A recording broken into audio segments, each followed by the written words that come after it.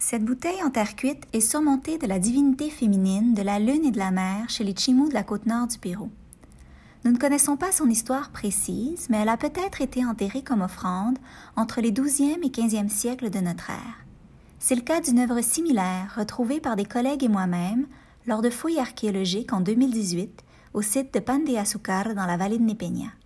Au-delà de ses qualités esthétiques ou de son intérêt scientifique, il s'agit donc d'une œuvre qui me permet de garder un lien avec le Pérou en attendant de pouvoir y retourner.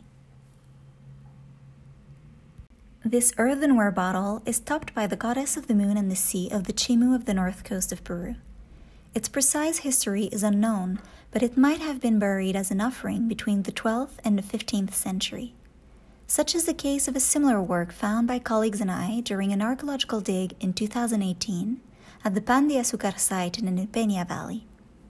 In addition to its aesthetic and scientific appeal, it is a work that reminds me of Peru while I wait to be able to return there.